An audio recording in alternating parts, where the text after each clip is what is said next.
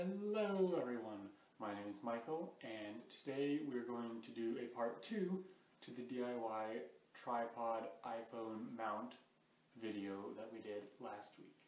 Recently I've gotten really into astronomy and looking through my telescope which I have off screen over here and I'll show you in a minute and I thought it would be perfect if I could kind of mount my phone to the telescope and then take pictures so I could share it with you or share it with other people because I think it's super cool that you can see planets just right there with your own naked eye just so today I'm going to show you how to adapt the iPhone mount that we made last week into one that may work for your telescope at home.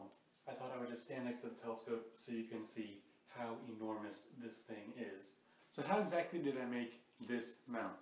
Well last time you saw us make the iPhone mount portion of this so then we needed this. This actually came with my telescope. It's a clamp so you can look at the sun safely. I'm repurposing it for this project.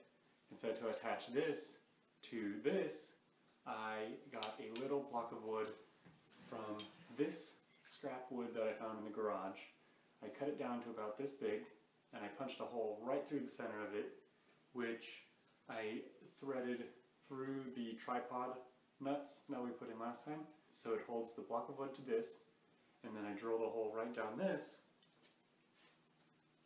so we could put the clamp on, and now this will hold the iPhone to the telescope.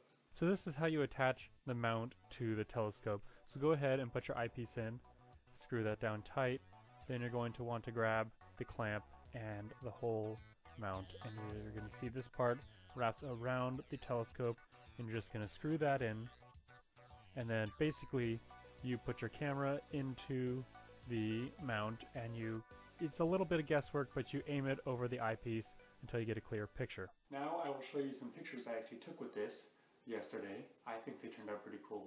Check those out and I'll see you in the next one where I show you exactly how to do this. So this first picture is Mars. It's not really Mars viewing season right now, so it basically just looks like a red laser dot point. This is Venus. I could have tweaked with the settings a little bit and got a clearer picture, but this was good enough for me for now. This next one is Jupiter. I really love this picture because you can actually see detail of the actual planet.